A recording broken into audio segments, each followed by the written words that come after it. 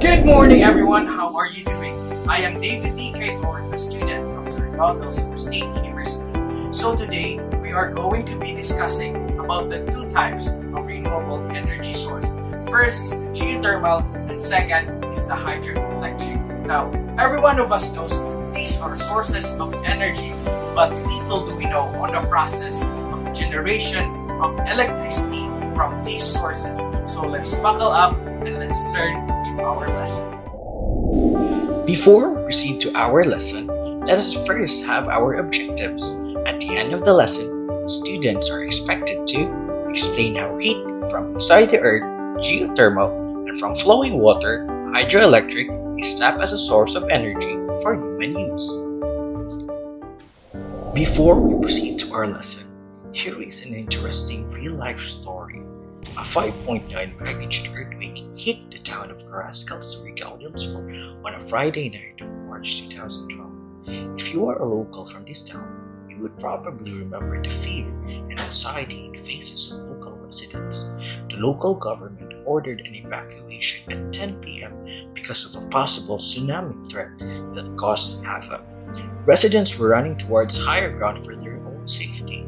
Multiple aftershocks followed after days.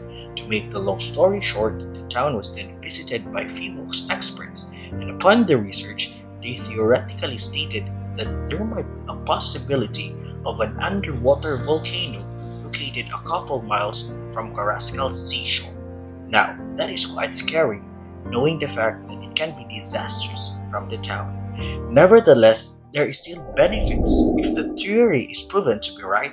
When there is a volcano, it means that there is an abundance heat the earth that can be transformed as a geothermal energy for human use. And this will be our topic for today. Have you ever been in a hot spring? Just like this? We love to enjoy the soothing and energizing effect of water from a hot spring. But have you ever wondered where this heat come from? Since our country is home to more than 100 volcanoes, energy has been tapped from them. Recently, the Philippines ranked third in the world's production of geothermal energy. In Mindanao alone, there are 20 volcanoes. One is located in Surigao del Norte, known as the Mount Paco, and it is currently inactive. According to the Department of Energy, 14.4% of country's total power generation is produced from geothermal energy. The nearest geothermal power plant in our locality is the Mount Apo Geothermal Power Plant. And it is located in Kidapawan City, North Cotabato. The production of electricity from geothermal energy is cheaper than the electricity production using natural gas, coal, and hydropower. Before we go on with the process, let us briefly define first geothermal Earth is believed to be extremely hot from within.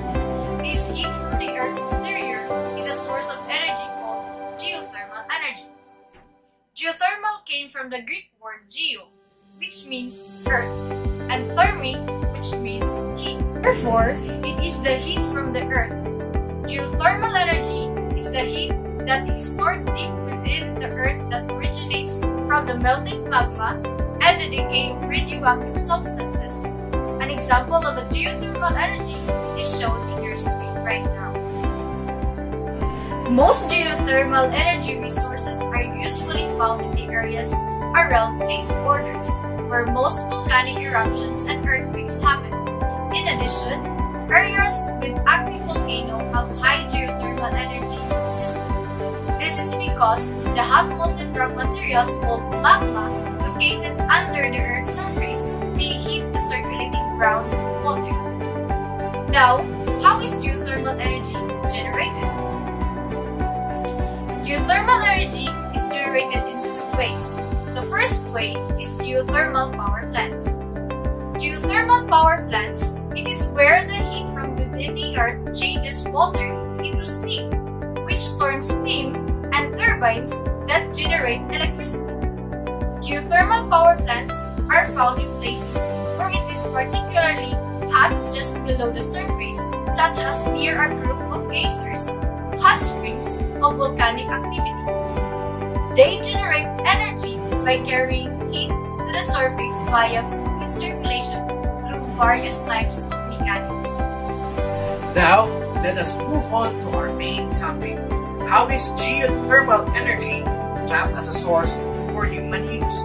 Now, let us discuss the steps how to generate electricity on a geothermal power plant. The first step is hot water is pumped from deep underground to a well under high pressure. How can we do this? Wells are drilled one or two miles deep into the earth to pump steam or hot water to the surface. Do you ever wonder how far, how deep one or two miles is? It's like from Carrascal National High School down to Cantilan National High School. You're mostly likely to find one of these power plants in an area that has a lot of hot springs, geyser, or volcanic activity because these are places where the earth is particularly hot just below the surface. Number 2. When the water reaches the surface, the pressure is dropped, which causes the water to turn into steam. Now, steam is the main component on the generation of electricity. The steam spins a turbine which is connected to a generator that produces electricity. Now, second to the last step, the steam cools off in a cooling tower and condenses back to water. Now, for the last step, the cooled water is pumped back into the earth to begin the process again.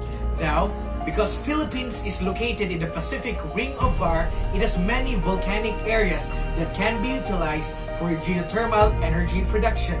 I'm sure that we are all familiar with the Camiguin Island because it is near in our locality. It is a great spot for geothermal power plant because it is surrounded with many active volcanoes. One of it is the famous Mount Hibok-Hibok. Now, let us move on to the second part of our lesson, which is the hydroelectric power. So, what is a hydroelectric power plant? Hydropower or hydroelectricity refers to the conversion of energy from the flowing water into electricity. It is considered a renewable energy source because the water cycle is constantly renewed by the sun. There are two main types of hydroelectricity production, the dams and the runoff river. Hydro dams utilize the potential energy from the dam water to produce electricity. A dam is a large barrier constructed to raise the level of water and control its flow. In connection, in our locality, there is a mini dam and an irrigation system which can be a potential hydropower plant because of the heavy flow of water. It is located in Barangay Paniquet of Carrascal, Surigao del Sur. It is called the Papagabo Powerhouse, but locals call it as the Dinahugan Dam. The dam has a potential to produce hydropower electricity because of sufficient flow of water energy from the mountains of Babuyan. So we move on now to the parts of a hydroelectric plant. Most conventional hydroelectric plants include four major components along their function. Number one is the dam. It raises the water level of the river to create flowing water. Also controls the flow of water. In the reservoir that is formed is, in effect, stored energy. Number two is the turbine. The force of falling water pushing against the turbine blades causes the turbine to spin. A water turbine is much like a windmill, except the energy is provided by falling water instead of wind. The turbine converts the kinetic energy of falling water into mechanical energy. Third is the generator. Connected to the turbine by shafts, possibly gears, so when the turbine spins, it causes the generator to spin also, converts the mechanical energy from the turbine into electric energy. Generators in hydropower plants work just like the generators other types of power plants. Transmission lines conduct electricity from the hydropower plant to homes and businesses. This ends our topic. Just remember, for geothermal energy, steam is the major factor that turns the turbine for the generation of electricity.